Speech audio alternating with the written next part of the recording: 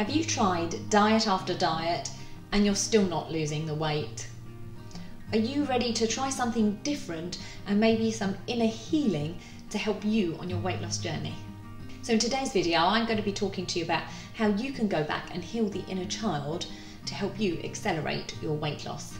Hi, I'm Vanessa McLennan, and I talk about all things weight loss, eating habits, emotional eating, intuitive eating.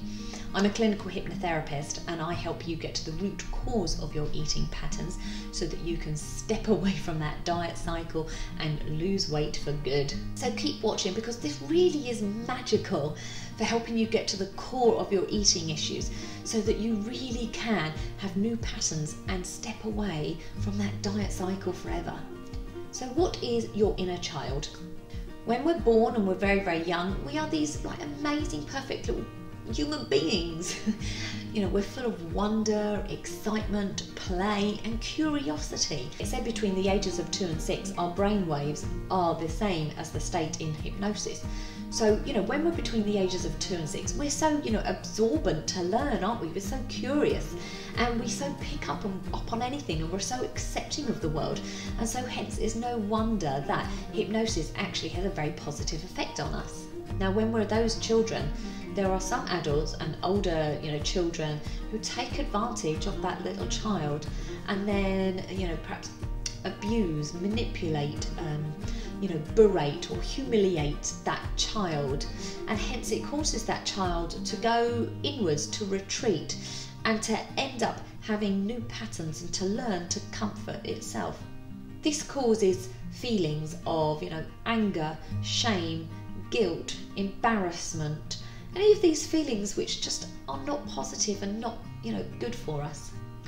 When we're brought up in that loving, supportive environment, we go through life learning tools that are very constructive for us, constructive to have human relationships, also good communication skills, assertiveness skills. So then when we get to adulthood, we learn very effectively how to deal with life's challenges so that you know they no longer or they're not not a bother to us. But when we're brought up in that environment where you know it it is abusive or um, it is just a horrible, you know, denigrating environment, and we then don't have the tools to be assertive, we then feel those feelings of you know anger, shame, and then that causes us to feel like huge amounts of stress, anxiety, and then that child, and also then as an adult, we maybe act out, you know, what we might deem as bad behaviour, but really it's just what we've learned as a child to cope with those situations because no adult has taught us the skills that we need that are constructive and beneficial for us. So, why visit our inner child? Well, when we're that youngster, we, you know, perhaps had times when we turned to food. So it could be that we weren't in that supportive environment, we were in that really negative, horrible environment, and food became our comfort. You know, we have needs when we're children, we still do as adults, where we just require, you know, basic love, support, to be listened to, you know, to be heard. And if we don't get that, we will fulfill our needs elsewhere or somewhere else. And a lot of the time, that can be food. Um, also, perhaps our parents had really strict guidelines around food. Maybe, you know, they withheld food, only gave us certain foods, only gave it at certain times, or had just weird rules around it. And hence, then we grew up, oh, feeling, you know, that shame, that embarrassment, um, that guilt around. It could be food, but it could be just around ourselves, because that's the way that we were made to feel when we were children. So it's never too late to reparent that child and give it the tools and the support to help us into adulthood. Because when we are now as adults, we might find ourselves being triggered by the same patterns. We might find ourselves being triggered by, I don't know, something that, you know, causes us that same anger, fear, shame, guilt, and that turns us again to go to food. So by going back and then revisiting that child and giving this child the tools that we need, you're bringing this child up to adulthood in that loving and supportive way that that child needed. And so, hence, what you're doing is then giving yourself the tools and the skills to be able to deal with life's challenges without then going to your old patterns. Uh, an example I had a client, let's just call her Sarah for confidentiality, who she was triggered. She found that she, um, in times when people were being horrible, she perceived them to be horrible to her. She would then turn to food. So she would eat lots and lots of food out of comfort that she noticed. And um, what she did then afterwards, she would berate herself for eating so much food. So when we went back to the inner child, she was really brought up in this horrible environment, you know, physically abusive and uh, verbally, you know, mentally abusive, where father was an alcoholic, mother was a narcissist, and she didn't get the love that she needed or be heard or just supported that she needed. So what she found herself doing was turning to food. And then what would happen was her parents would, you know, berate her, tell her off for eating that food. So come to the present day life, somebody was horrible, or she perceived horrible because there's, you know, the difference there.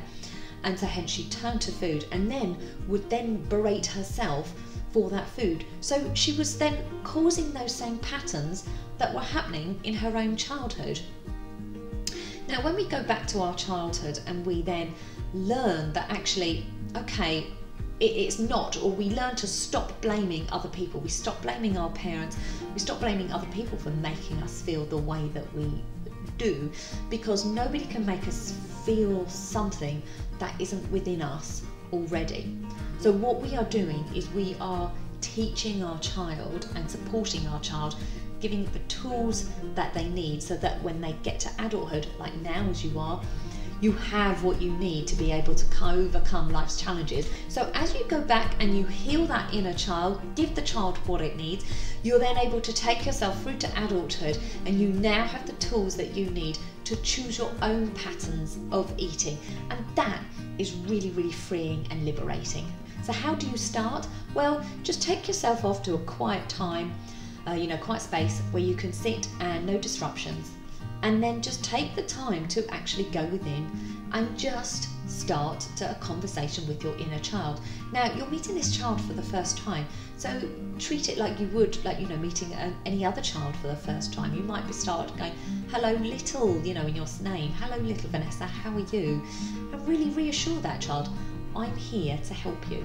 I'm here for you, and please feel free to tell me anything that you want to tell me. What would you like to tell me? What would you like me to know? How can I help you? What do you need from me? So, really gentle questions, and it could be that actually you just sit and you listen for what comes to you. But it's all done in a loving and compassionate way, and you're just gentle and accepting. And as time goes on, you can keep repeating that so that more and more comes up, just like any relationship. You know, you get to know somebody better, get to know them deeper and more, and then you're able to really help and serve them better. So, if you want to know more about this and more about the inner child, really leave your comments, your questions below so that I can answer them, and also I know what you know further videos you might like on this topic. So, uh, thank you. If you like this video, please give it a thumbs up. Click the bell to be notified of my next video, which comes out every single Thursday. Thank you very much.